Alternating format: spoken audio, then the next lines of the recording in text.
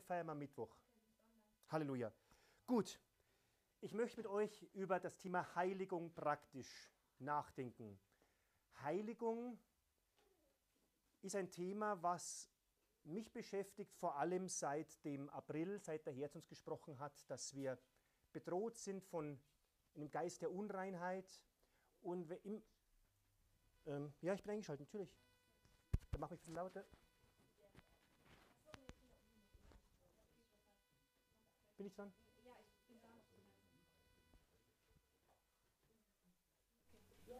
Heiligung ist ein Thema, was eigentlich für Christen ständig aktuell sein sollte, denn ohne Heiligung werden wir Gott nicht sehen. Ähm, das ist Gottes Wille, eure Heiligung. Ich würde mal sagen, es sollte für jeden Christen ständig relevant sein, ist es aber nicht. Für mich war es nicht ständig relevant. Möchte jemand vielleicht noch ein bisschen was, Silvia, möchtest du ein bisschen am Peter ein bisschen übersetzen? Danke. Oder der Peter kommt kurz hierher. Geht's? Na, tausch kurz, kurz Plätze, danke, passt. Danke. Einfach einen, einen Platz weiterkutschen, danke. Wir schauen, dass wir Übersetzungsfragen noch klären. Ja, Heiligung, ich weiß nicht, was dir so an Assoziationen in den Kopf, in den Sinn kommt, wenn du an Heiligung denkst, aber da denkt man wahrscheinlich an sich fad kleiden, da denken wir an, das darfst du nicht, das darfst du. Du denkst an Spaß und Spielverderberei, oder?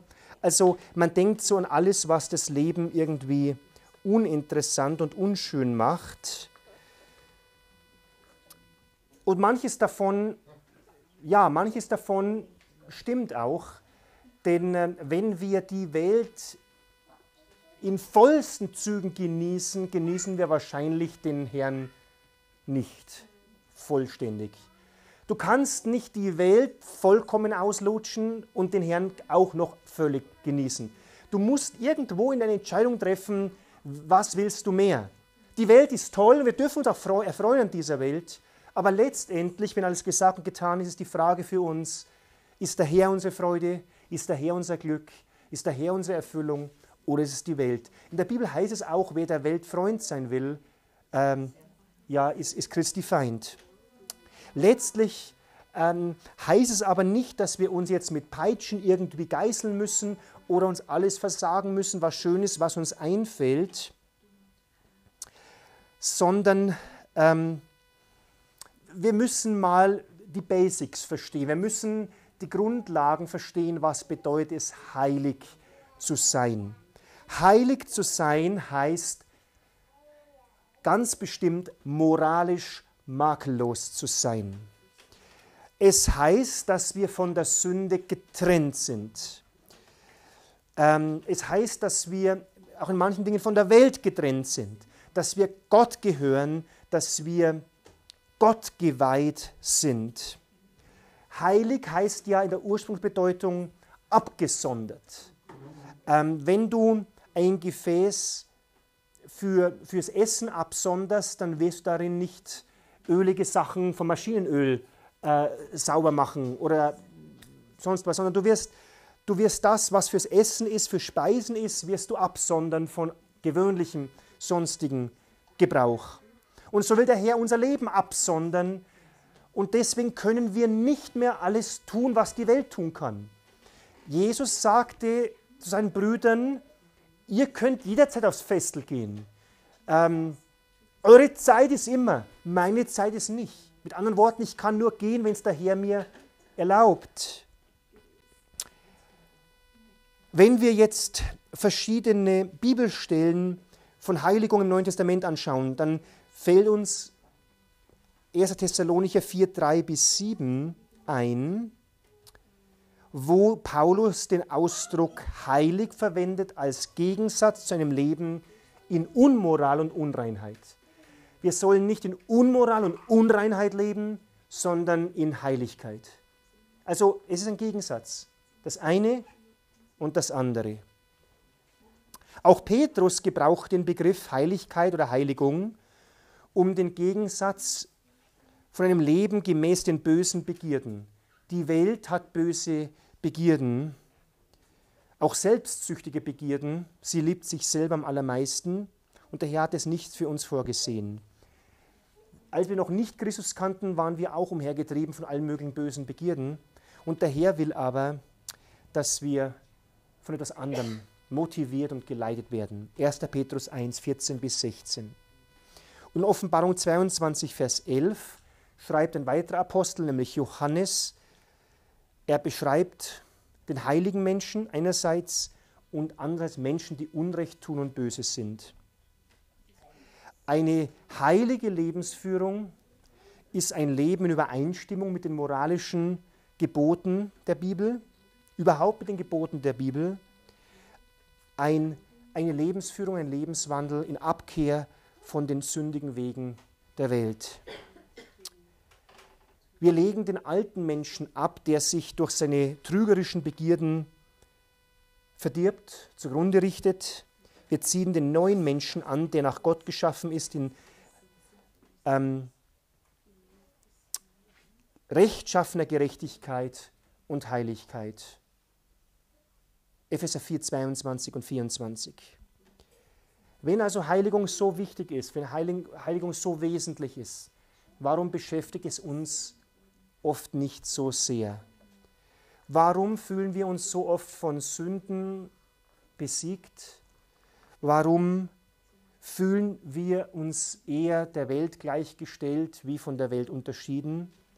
Ich möchte heute drei Gründe anschauen, die uns helfen, wo wir auf den Leim gehen und wo wir besiegt werden.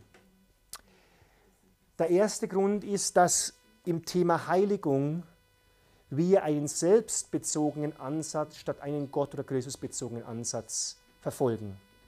Was meine ich damit? Wir sind traurig, wenn wir nicht unsere eigenen Standards schaffen zu erfüllen. Wenn wir also nicht Wort halten und Menschen weisen uns das nach, wenn wir nicht treu so sein können, wie wir es von uns selber erwarten, dann sind wir enttäuscht und betrübt und zerknirscht aber glaub mir, wir sind meistens nicht aus dem falschen Grund enttäuscht. Wir sind zerknirscht, weil wir es nicht geschafft haben. Weil wir unseren Ansprüchen von unserem hohen Wandel nicht genügen. Und das betrübt uns. Aus dem Grund tun wir auch manchmal Buße. Aber eigentlich sollten wir enttäuscht sein, weil wir Gott verletzt haben.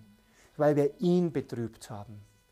Und das müssen wir überlegen tun wir, wenn wir merken, wir haben nicht gottgemäß gelebt, Buße, weil wir Gott verletzt und Gott betrübt haben oder weil wir selber nicht als guter Christ, der wir uns selber von uns erwarten zu sein, der wir auch von den Geschwistern sein wollen, weil wir dem Standard nicht entsprochen haben. Versteht ihr, was ich meine?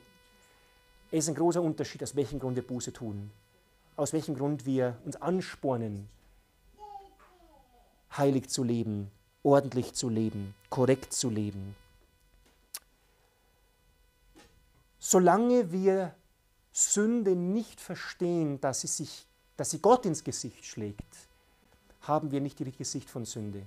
Solange Sünde einfach ja, Schwachheit ist oder ja, ich muss mich mehr am Riemen reißen, ich, ich schulde es mir, meinem eigenen Ansehen, dass ich da äh, anders drauf bin. Nein, Sünde spuckt den Herrn an. Sünde lästert den Herrn. Sünde betrübt unseren Liebsten. Und sie bricht Gottes Gesetz. Sie verachtet seine Autorität. Sie, sie ignoriert und setzt außer Kraft seine Herrschaft, sein Herrsein. Wir sagen Herr, Herr und tun nicht, was er uns sagt. Und äh, weißt du, Verschiedene Menschen haben gesagt, ich habe gesündigt. Ich habe gestern Abend erst wieder mit zwei Brüdern den Film Die Passion Christi angeschaut und da sagt Judas, er die 30 Silberlinge zurückbringen will, ich habe gesündigt. Nützt ihm das was? Nein, wenig später nimmt er sich einen Strick. Nur zu sagen, ich habe gesündigt, ist zu wenig. Auch Bileam hat gesagt, ich habe gesündigt. Saul hat gesagt, ich habe gesündigt. Hat er sein Königtum retten können? Nein. Aber der verlorene Sohn hat nicht nur gesagt, ich habe gesündigt, sondern sagt bei seiner Rückkehr zum Vater, ich habe gesündigt gegen den Himmel und gegen dich. Das ist ein Unterschied. Der verlorene Sohn hat ein bisschen mehr gesehen, was er eigentlich gemacht hat. Und David sagte nicht, ich habe gesündigt, ich, habe, ich bin ein bisschen unkorrekt gewesen oder untreu. Er sagt im Psalm, gegen dich her, gegen dich allein habe ich gesündigt. Ja, er hat aber Ehebruch begangen. Ja, er hat seinen besten Mann umbringen lassen. Aber gegen wen hat er gesündigt? Gegen die Bathseba oder gegen Uriah? Nein, er sagt, eigentlich im tiefsten her habe ich gegen dich gesündigt. Was immer du deiner Frau, deinem Partner antust, was immer du einem anderen Menschen antust, tust du dem Herrn an, nicht einfach einem Menschen. Oder gut, ich war zu meiner Firma nicht so treu, wie ich hätte sein sollen. Du hast nicht gegen deine Firma gesündigt, du hast gegen den Herrn gesündigt.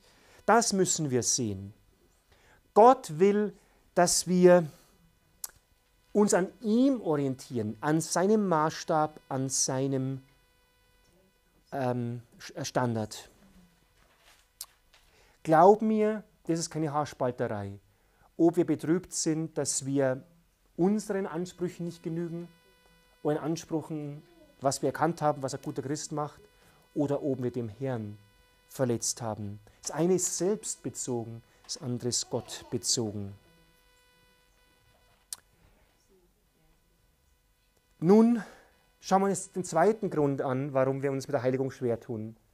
Der erste Grund, ich wiederhole, wir sehen die Heiligung mehr selbstbezogen und wollen die Heiligung aus selbstbezogenen Gründen meistern und in den Griff kriegen, als wir aus Gott bezogenen Gründen. Der zweite Grund, das zweite Problem ist, dass wir Leben aus Gnade missverstehen. Dass wir denken, ähm, wenn ich im Glauben lebe, wenn ich in der Gnade lebe, wenn ich Gott vertraue, dann müsste ich mich selber nicht mehr anstrengen. Glaub mir, im Neuen, nicht im Alten Testament steht, ihr habt der Sünde noch nicht bis aufs Blut widerstanden. Wenn du einer Versuchung bis aufs Blut widerstehst, glaub mir, da lässt dabei alle, alle gerade sein. Verstehst du, was ich meine?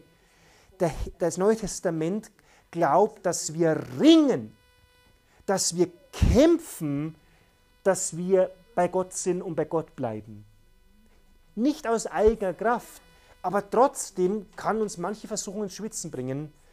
Und äh, ja, Paul, der, der Josef musste seine seine, ja, er musste seine Beine in die Hand nehmen, wie man so schön sagt. Er musste rennen, als ihn die Frau von Potiphar schnappen wollte. Er musste rennen. Er konnte nicht einfach sagen, ja, Mai, wenn es der Herr zulässt, dann wird es schon nicht so schlimm sein. Ja, solange nur Rauch, der Herr muss man halt nehmen. Solange ich halt noch fernsehsüchtig bin oder äh, mir Bilder anschaue, die nicht passen im Internet, das muss man halt dahernehmen. Wenn es man nicht nimmt, wird es schon nicht so schlimm sein. Weißt du was, der Herr nimmt da nichts.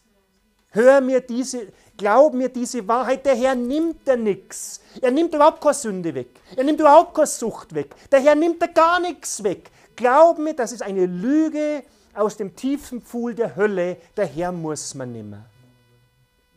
Das ist genauso, ich gehe nicht in den Gottesdienst, wenn es mir nicht zirkt, dann gehe ich nicht. Tut mir leid, wenn es die Judith nicht zirkt, Mama von Benedikt zu sein, dann ist keine Mama an dem Tag, oder wie? Mit hat's, sagst du, heute war ich keine Mama, heute Benedikt, tut mir leid, bin ich deine Mama nicht, weil mir hat es nicht gezogen. Mich freut es halt nicht, mir hat es nicht gezogen, da wird es schon passen. Und er schreit und er braucht die Mama, aber die Mama sagt, heute hat es mich nicht gezogen. Merkst du, was für ein Dünnpfiff das alles ist. Mich zirkt es nicht. Das sind alles so Lügen. Der Herr muss man nehmen. Das hat mit Gnade nichts zu tun. Gnade muss ergriffen werden. Gnade muss begehrt werden. Du musst das Reich Gottes an dich reißen.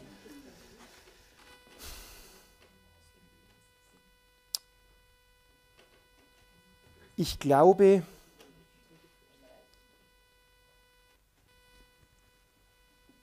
ohne gewisses Maß an Eifer und Fleiß können wir nicht Jesus nachfolgen.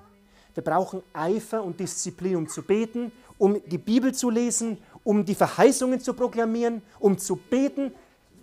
Das geht nicht einfach nur so, ja, Mai, Versteht ihr, was ich meine? Wir alle haben diese Zeiten schon erlebt, wo man ja, mei, ich lebe halt aus Gnade und nicht mehr aus Religion. Aber weißt du was? Da hat der Herr nichts dabei gewonnen, oder? Aus den Zeiten hat er nichts bei uns dabei gewonnen. Wenn einer was gewonnen hat aus diesen Zeiten, ich, ich habe Gnade, ich kann nicht mehr sündigen, ich, ich bin ja voll in der Gnade, ja. Und dann kommt die Lieblosigkeit raus. Da hat nur der Teufel Profit geschlagen, aber nicht, nicht der Herr. Der Herr sieht uns persönlich verantwortlich für Heiligung. Ja, er, er will uns befähigen. Die Gnade die will uns erziehen, aber sie will uns in die Verantwortung nehmen. Die, das Entscheidende ist, wenn du eine Gewohnheit oder eine Sucht loswerden willst, willst du sie wirklich loswerden? Es muss sich jeder von uns fragen, will ich es wirklich? Ganz tief da drin, will ich es wirklich loswerden? Weil solange du es nicht wirklich willst, glaub mir, der Herr nimmt es dir nicht. Keine Sorge, der Herr nimmt es dir nicht.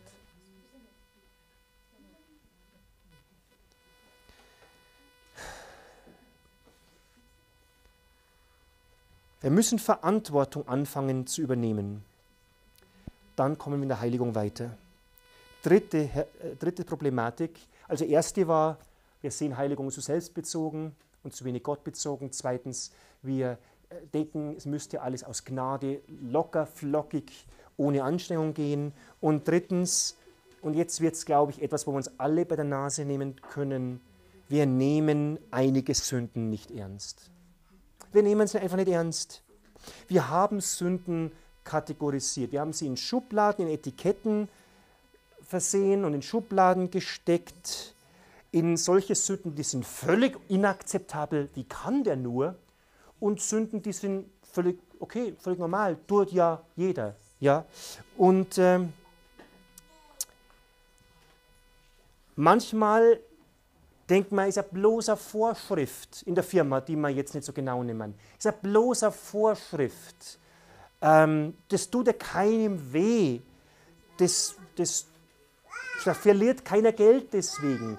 Wir missachten nur eine Vorschrift in der Arbeit.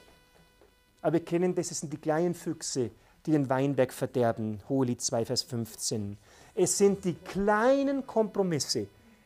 Da bisschen schnell Auto fahren, da ein paar Vorschriften nicht so ernst nehmen, da ein bisschen, verstehst, großzügiger bewerten.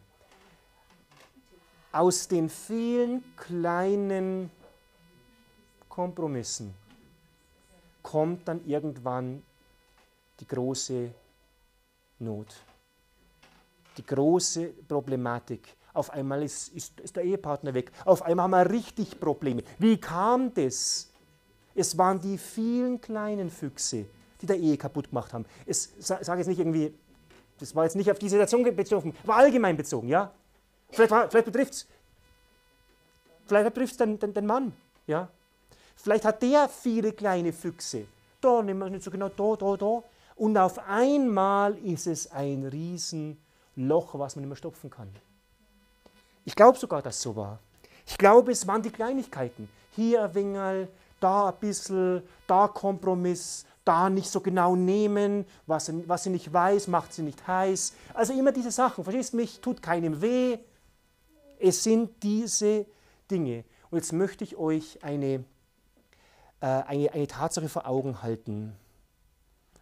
Es geht nicht in der Heiligung, ob eine Sache in unseren Augen bedeutsam ist und wichtig ist oder nicht.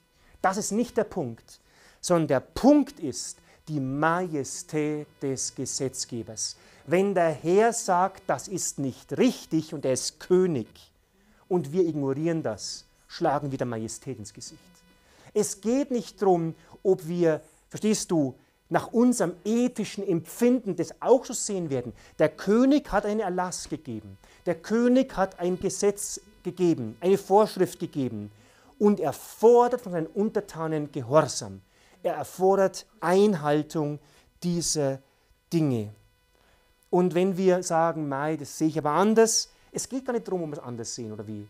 Er hat die Vorschrift gegeben, er hat das Gebot gegeben und wir sagen, ei, ei, Sir. Ja, und wir, wir respektieren damit seine Majestät. Heiligung, ich sage es euch wirklich, worum es da eigentlich geht. Heiligung ist Hochachtung für den König. Heiligung ist Hochachtung, Respekt für den Herrn. Das ist Heiligung. Ja. Nicht irgendwie moral, einen auf moralisch machen. Ja, jetzt, jetzt bist du päpstlicher als der Papst. Mei, was, verstehst du mich? Heiligung. Jetzt wird es aber muffig. Jetzt wird es ganz schön spießig irgendwo. Jetzt wird es so eng. Nein, es geht um den Gesetzgeber, es geht um den Chef, es geht um den König, der sein Leben für uns gab, der uns geschaffen hat und der mit Fug und Recht beanspruchen darf, dass wir sagen, ei, ei, Sir. Ja, wir machen es. Ist dem Herrn Gehorsam zu leisten oder nicht? Ist er ein heiliger Gesetzgeber oder nicht? Sind wir als seine Geschöpfe, die nicht uns, wir uns selber verdanken, seinem, verpflichtet, seinem Willen vorbehaltlos Zustimmung zu leisten? Weißt du, es geht nicht darum, ob wir Sünde groß oder klein nennen, sondern dass der Herr sagt, lass es, tu es nicht. Weißt du, wir müssen aufhören als drittes, als drittes Problem Sünden zu kategorisieren. Wir müssen anfangen zu sagen, was der Herr verbietet, kommt für mich nicht in Frage. Kommt für mich nicht in Frage.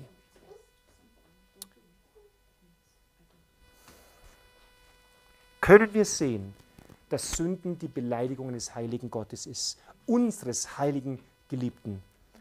Ähm, können wir persönliche Verantwortung für die Sünde übernehmen und nicht sagen, Mei, er muss mal nehmen. Können wir drittens aufhören, Sünden zu kategorisieren, sondern zu sagen, wenn es der Herr verbietet, egal ob groß oder klein, ob ich es für wichtig oder unwichtig halte, es ist für mich bindend, es ist für mich geltend. Ich bin unter Herrschaft, ich gehöre nicht mehr mir selbst. Die Heiligkeit Gottes. Heiligung hat mit Gott zu tun und deswegen leben wir sie nicht so sehr, weil, weil wir jetzt besonders heilig sein wollen, sondern er fordert Heiligkeit, er fordert Reinheit, Heiligkeit und Reinheit gehören zusammen und er fordert auch, dass wir in einem solchen Leben anfangen zu lieben, was er liebt und zu hassen, was er hasst.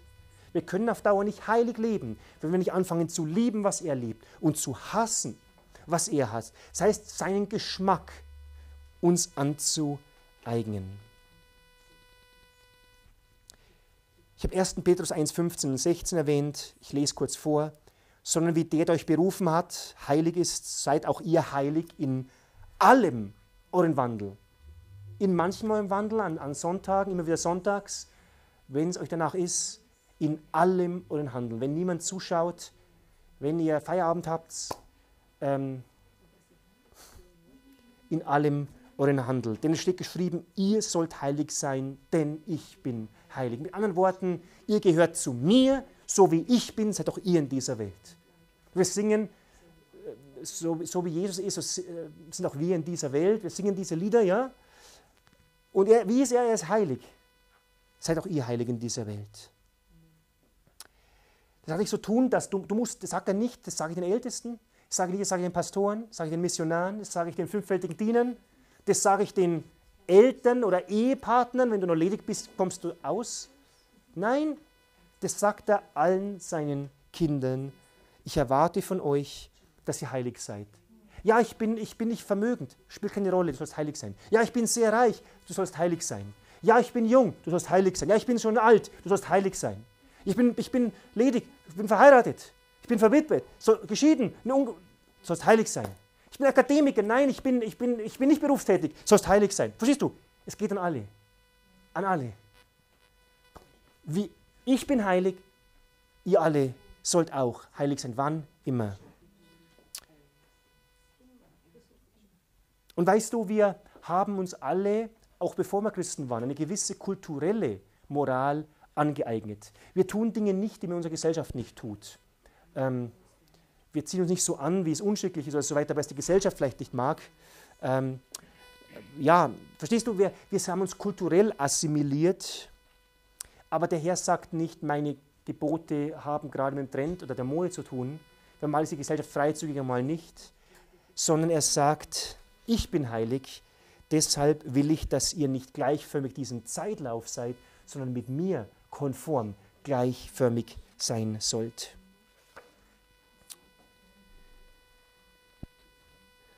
Weißt du, Heiligkeit hat zu tun, wie wir schon gesagt haben, mit der Majestät Gottes, mit Reinheit, moralischer Vollkommenheit seines Wesens. Weißt du, wir haben ja mehrere Eigenschaften von Gott. Er ist allgegenwärtig, allmächtig, allliebend und gütig.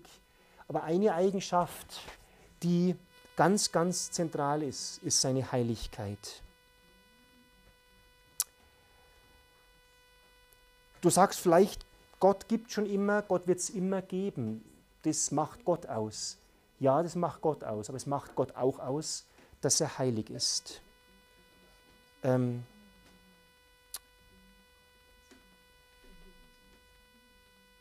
Und daher, dass er allwissend ist, weiß er immer vollkommen, was gut und recht ist, was dran ist. Er, er, er weiß es immer. Also die Allwissenheit hilft seiner Heiligkeit. Und seine Allgüte hilft seiner Heiligkeit, weil seine Heiligkeit, sein Wissen um Gut und Böse immer das Gute will. Und weil Gott allmächtig ist, kann er auch immer das, was er als richtig erkannt hat, umsetzen und tun. Wir haben oft nicht die Kraft dazu, aber er ist allmächtig und will uns befähigen, dass wir immer das Gute und Rechte tun können. Für diejenigen, die entweder mitschreiben wollen oder sich nachher nochmal diese Predigt anschauen, nenne ich kurz die Bibelstellen, wo die Eigenschaft der Heiligkeit genannt ist. 2. Mose 15,11, 3. Mose 19,2, Psalm 89, 35, Jesaja 57, 15 und 1. Petrus 1, 5 und 16 haben wir vorhin schon angeschaut. Gott ist heilig, er ist vollkommen getrennt von allem Bösen. Vollkommen getrennt von allem Bösen. In ihm ist nur Licht und keine Finsternis. Überhaupt keine. In ihm ist nur Reinheit und gar nichts Verschmutztes. Das müssen wir mal wirklich ein bisschen so auf uns wirken lassen. Er ist sauber. Er ist hell. Er ist rein. Er ist strahlend schön. Wir sagen, ein, ein Kleidungsstück ist sauber. Das ist mal auf eine besondere Sache. Ein Brautkleid soll sauber sein vor der Hochzeit, das ist klar. Ähm, ein Kleidungsstück ist sauber, soll nicht, soll nicht fleckig sein, ja? Gold ist rein, wenn es von der Schlacke befreit ist, oder Silber. Wir können uns Gott nicht vorstellen, dass er verschlackt ist, dass er verschmutzt ist. Gott ist Licht und in ihm ist keine Finsternis. 1. Johannes 1, Vers 5. Es hat moralische Bedeutung. Gott ist absolut frei von moralisch Bösen jeglicher Art. Er ist selbst die Personifizierung äußerster moralischer Reinheit und Sauberkeit. Er ist sich selbst treu. Er ist in sich selbst stimmig. Er ist nicht mal, komm ich heil, komm ich morgen. Er ist nicht mal, oh ja, ich habe es zwar gestern versprochen, aber so wichtig war es nicht, bist mir eh nicht böse. Nein, er, verstehst du, er ist so nicht. Gott sei Dank ist er nicht so. Aber schau unser eigenes Leben an, mit wie viel Ausreden. Stell dir mal vor, Gott wäre auch nur einen Tag so wie wir. Das wäre furchtbar, oder? Wenn du es wirklich mal so überlegst, zum Teil mit wie viel Ausreden kommen wir wieder her, mit wie viel, tja, musst verstehen und. Und ja, umso reifer wir werden in unserem Wandel mit dem Herrn, umso mehr entwickeln wir einen christlichen Charakter. Wir wachsen in Gebieten wie Ehrlichkeit, Reinheit und Demut. Aber wir handeln nicht immer im Einklang mit unserem Charakter. Wir schwindeln manchmal, wir nehmen es nicht immer ganz genau mit, mit, mit der Wahrheit, mit, den, mit manchen Dingen.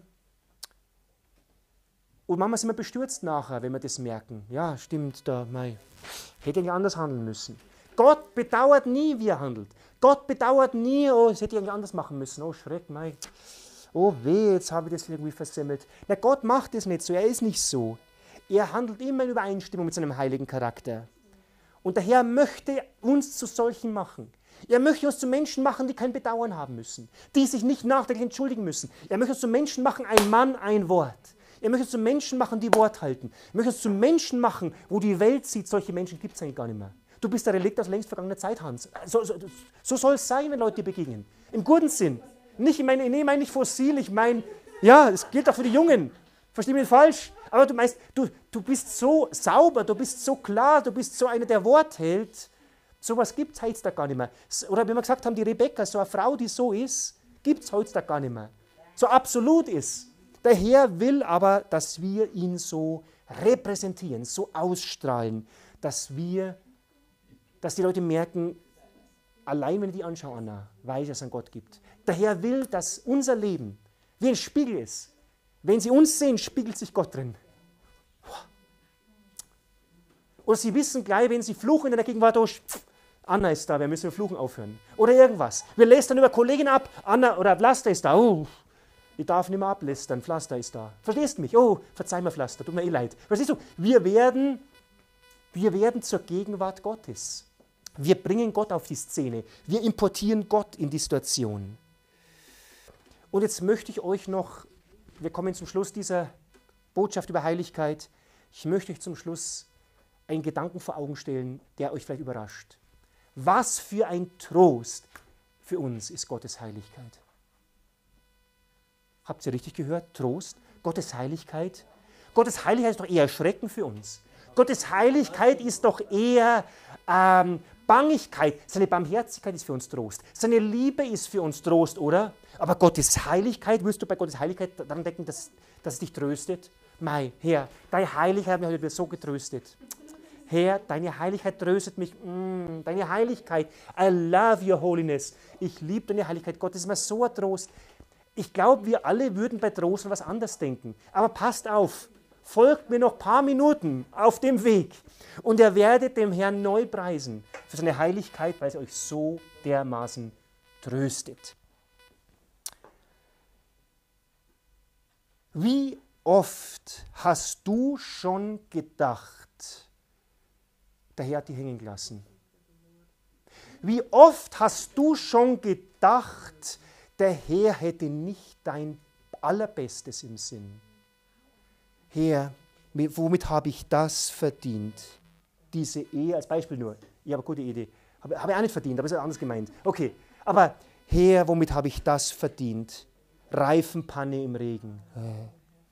Oder ich habe den Job nicht. Und, und es kommt der Zweifel in uns auf, ist Gott eigentlich gut? Meint es Gott gut mit mir? Der Zweifel übrigens, den hat die Schlange der Eva in die, eingeblasen in, ins Hirnkastel und hat ihr gesagt, sollte Gott gesagt haben, nein, Gott weiß vielmehr, er enthält dir was vor. Was, was blieb unterm Strich bei Eva hängen? Gott meint es nicht vollkommen gut mit mir. Er, er enthält mir was vor. Ich komme bei Gott zu kurz. Wer von euch ist noch niemals versucht worden zu denken, ich komme bei Gott zu kurz? Nach dem Motto von Slogans wie Good, good girls go to heaven, bad girls go anywhere. Also die guten Mädel kommen in den Himmel, die schlechten überall hin. Ja, habt's gehört? Die, die, das, was steckt hinter diesem bösen, bösen Satz? Die guten Mädel kommen in den Himmel, die schlechten überall hin. Erstmal, überall hin heißt, sie kommen auch in den Himmel und können noch nebenbei alles mitnehmen. Und was kommt hin? Wenn du in den Himmel kommst als gutes Mädel, verpasst du die Welt. Ich habe mal ja, in meiner Anfangszeit noch böse Bücher gelesen, Bücher von dem Stephen King, das war damals so ein böser Schriftsteller, hat Grusel und, und böse Bücher geschrieben und da war ich noch ein bisschen rebellisch, da war ich halt dann 14, 15, 16 Jahre alt, genau. Und dann habe ich ein Buch gelesen und der Heilige Geist hat die ganze Zeit schon gesagt, leg das Buch, weil ich war frisch bekehrt. Der Heilige Geist sagt, hör auf. Vielleicht zu euch hat er gesagt, leg den Harry Potter beiseite und der war so spannend gerade. Ah, es gibt ein neues Buch von Harry Potter, habe ich gesehen. Da werden wieder Kinder von Gott weggezogen. Egal, aber verstehst du, euch haben andere Bücher vielleicht im Bann gehabt, im Griff gehabt und manche einen, vielleicht, vielleicht bei dir er gesagt, leg einen Karl May weg, zu viel Karl May, keine Ahnung, war Spaß. Einfach, dass es in der BDR Karl May gegeben hat. wir haben zwar die Wilder Bärenfett in Dresden, aber wir hatten keine Karl May Bücher. Okay, gut, vielleicht bist du bewahrt worden, sonst wärst du heute vielleicht ein Jünger von Winnetou. Na egal, Sind wir, kommen wir zurück. Äh, ich hatte ein, ich hatte ein, äh, ein Buch von diesem bösen äh, Schreiber, und es war gar kein so böses Buch, aber es, es, es war doch böse. Es war nicht so horrormäßig, es war mehr so Fantasy-mäßig. Übrigens, Fantasy-Bücher, da steckt ganz viel Lüge und Traumwelt und Trugwelt oft drin. Jedenfalls in diesem Buch hat einer gekämpft mit, mit der Wahrheit, mit der Moral, mit moralischen Frage und immer kam in diesem Buch die Frage von Jesus, was nützte es dem Menschen, wenn er die ganze Welt gewönne, aber genau, äh, aber an seiner Seele Schaden nehme. Immer wieder kam dieses, wie so ein Leitmotiv, kam diese Frage daher. Und weißt du, was irgendwann mal der böse Versucher sagte? Es würde ihm nutzen, die Welt zu gewinnen. Verstehst du? So, so böse, ich habe mal den Böse jetzt kurz, kurz imitiert, ja, aber so böse, so dreist hat er gesagt, was, was die andere auf Jesu fragen würde. Es, äh, es würde mir nützen, die Welt zu gewinnen. Verstehst du? So böse. Und auf einmal hast du gedacht in der Lüge, na klar, ich, ich, muss, ich, muss, ich muss die Welt gewinnen. Aber dass ich meine Seele verliere dabei? Verstehst das ist, das ist uns nicht im Blick. Am Ende des Tages will der Teufel uns die Lüge verklickern. Bei Gott kriegst du einen kürzeren. Bei Gott schneidest du schlechter ab. Bei Gott kommst du zu kurz. In der Welt, da, da, da, da ist die große Sause. In der Welt, da geht so richtig der Punk ab. In der Welt ist der Spaß, aber Gott nennt alles Sünde, was dick macht oder Spaß macht. Ja, so, so, ja. Und, und, und, und, und, Christsein ist nicht hip und ist nicht cool und, und du bist nicht dabei. Und er hat dieses Image irgendwie transportiert. Aber weißt du, und weißt du, wie ich das gelesen habe, ich sagte, bei dieser Frage, es würde ihm helfen, da wusste ich, warum der Heilige Geist gesagt hat, hör mit dem Lesen auf. Und dann habe ich zwei Drittel. Der Herr wollte schon, dass ich ihm na, beim ersten Drittel das Buch weglege. Aber ich habe es spät, habe ich erst gehorcht. Ich habe dann irgendwann das Buch weggelegt, und es war mein letztes Stephen King Buch, äh, und habe dann aufgehört damit. Und habe mich der Bibel zugewandt mehr, das war besser, war gescheiter, ja. Aber der Teufel hat auch versucht, mir die Lügen einzu, einzutrichtern. Zurück zu dieser Frage, warum uns die Heiligkeit tröstet. Weißt du, was die Heiligkeit, wenn wir uns auf die, in der Heiligkeit Gottes besinnen, dann, äh, dann wissen wir eins, es ist für Gott nicht nur unwahrscheinlich, dass wir zu kurz kommen oder ich glaube nicht, dass ich bei Gott zu kurz komme, sondern ich weiß, dass ich bei Gott nicht zu kurz komme. Warum? Weil Gott heilig ist. Und wenn Gott heilig ist, darf er mich nicht zu kurz kommen lassen, weil seine Heiligkeit ihn zwingt, mir das Beste zu wollen, das Beste, das Allerbeste zu geben, immer und überall. Wenn du das begreifst, dass seine Heiligkeit Gott in, in Pflicht nimmt, dass seine Heiligkeit nicht nur ihm nicht erlaubt, sie zwingt ihn, mich zu überschütten mit Gutem, mit Wahrhaftigen, mit dem Besten. Gott ist moralisch im Schwitzkasten seiner eigenen Heiligkeit, mir Gutes zu tun. Und sein Wort zu halten. Einer ist gut, Gott allein. Und weil er gut ist und weil er heilig ist, nicht kann er mir Gutes tun, muss er mir Gutes tun. Und wenn du das erkannt hast, weißt du, dass die Heiligkeit Gottes der Nummer eins Trost ist, der so jede Lüge verpufft dass ich zu kurz komme. Wenn ich mich für einen rechten Mann aufspare, sexuell oder sonst was, mei, bin ich die Depperte oder was? Nein! Gott hat das Beste, wenn er sagt, warte bis zur Ehe. Er hat das Beste, wenn er sagt, verstehst du mich? Als Beispiel. Bin ich der Doofe, dass ich warte? Nein, weil Gott heilig ist, muss mir das Leben im Gehorsam zu seinen Geboten, in Respekt und Hochachtung für seine Gebote, verstehst du mich? Trösten. Haben wir es verstanden? Gottes Heiligkeit tröstet uns, dass er uns jeden Tag, jede Stunde, jede Sekunde das Allerbeste im Sinn hat. Weil er moralisch ist, weil er heilig ist, weil er rein ist. Und in dieser Herzenshaltung von Reinheit und Heiligkeit enthält er mir nie etwas Gutes vor. Komme ich immer bei Gott 10 Millionen Prozent auf meine Kosten. Immer. Verstehst du mich? Merkst du, wie es dein Glauben stärkt? Merkst du, wie es dein Glauben stärkt? Wer zuletzt hat, lacht am besten. Und was ist, wenn wir schon Kompromisse gemacht haben? Dann dürfen wir das Blut Jesu nehmen und dürfen sagen, ich will trotzdem. Es ist ein neuer Tag, eine neue Gnade. Und wenn ich in der Vergangenheit die Gebote Gottes mit Füßen getreten, äh, mit, ja, mit Füßen getreten habe, ein neuer Tag rein und heilig mit Gott zu leben und seinen maximalen Segen zu bekommen. Denn sein maximaler Segen ist der Motor hinter seinen Geboten und Verboten. sein maximaler Segen, seine Liebe, seine Güte. Halleluja. Und ich möchte zum Schluss noch sagen, jemand sagte mal, es verletzt Gott mehr, ihm zuzutrauen, dass er nicht gut wäre, als überhaupt an ihn zu glauben. Wenn du Atheist bist und gar nicht an Gott glaubst, gut, das ist eine. Aber zu, an Gott zu glauben und zu denken, er meint es nicht wirklich gut mit dir, das tut ihm am allermeisten weh. Und ich hoffe, durch diese Botschaft heute über die Heiligkeit ist mit dieser Versuchung, dieser Lüge, er könnte es nicht gut meinen. Ich bin übrig geblieben. Ich bin von Gott und der Welt vergessen. Verstehst diese Lügen aus dem Abgrund und Schlund der Hölle?